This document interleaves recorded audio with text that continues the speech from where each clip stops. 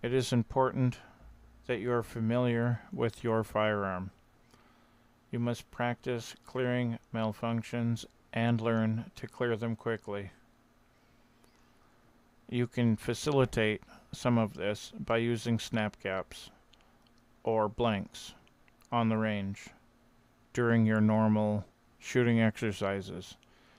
A good tip is to have somebody else load your magazines for you so that you do not anticipate which ones are going to be malfunctions and which ones are going to shoot as intended.